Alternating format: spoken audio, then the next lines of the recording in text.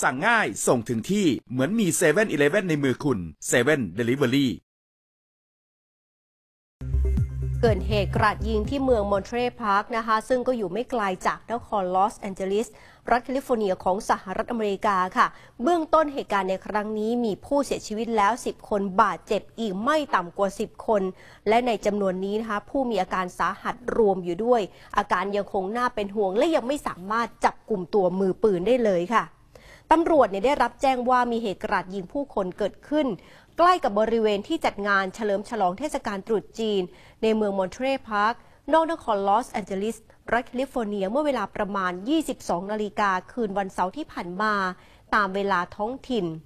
ในที่เกิดเหตุพบมีผู้ถูกยิงหลายคน จึงได้แจ้งหน่วยรถฉุกเฉินนำตัวผู้ได้รับบาดเจ็บส่งโรงพยาบาล โดยสื่อท้องถิ่นได้รายงานว่ามีผู้เสียชีวิตแล้วอย่างน้อย 10 คน บาดเจ็บอีกกว่า 10 คน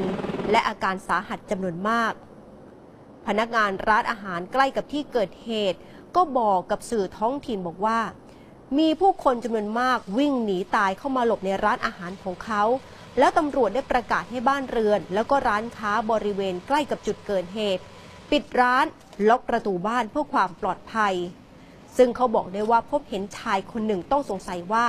เป็นผู้ก่อเหตุ เนื่องจากว่ามีอาวุธปืนอัตโนมัติติดอยู่กับตัว และอาจจะมีกระสุนจำนวนมาก ซึ่งเขายังให้ข้อมูลเพิ่มเติมว่าเหตุกราดยิงนั้นอาจจะเกิดขึ้นที่ไนท์คลับแห่งหนึ่งในพื้นที่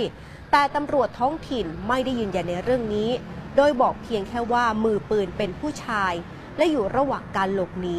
แล้วก็ยังไม่ทราบแรงจูงใจในการก่อเหตุ โดยเหตุกราดยิงดังกล่าวเกิดขึ้นไม่กี่ชั่วโมงหลังจากช่วงวันเสาร์ที่ผ่านมา มีการจัดงานเฉลิมฉลองวันตรุษจีน ที่เมืองมอนเทรพาร์คอย่างยิ่งใหญ่ มีผู้เข้าร่วมงานหลายหมื่นคน แต่เจ้าหน้าที่เชื่อว่าเหตุกราดยิงที่เกิดขึ้น ไม่น่าจะมีส่วนเชื่อมโยงกับการจัดงานเฉลิมฉลองเทศกาลตรุษจีนในพื้นที่สำหรับเมืองมอนเทรพาร์คนั้นอยู่ห่างจากนครลอสแอนเจลิสไปประมาณ 12 กิโลเมตร มีประชากรประมาณ 60,000 คน และมีชุมชนชาวเอเชียขนาดใหญ่ อาศัยอยู่ในเมืองด้วยค่ะ ขอบคุณทุกท่านที่ติดตามรับชมรายการ TNN ข่าวดึกนะคะ อย่าลืมกด subscribe กดกระดิ่ง กดไลค์กดแชร์ในทุกช่องทางออนไลน์ของ TNN ช่อง 16 ด้วยนะคะ เพื่อที่คุณผู้ชมจะได้ไม่พลาดรับชมรายการสด และคลิปวิดีโออื่น ๆ ที่น่าสนใจอีกมากมายเลยค่ะ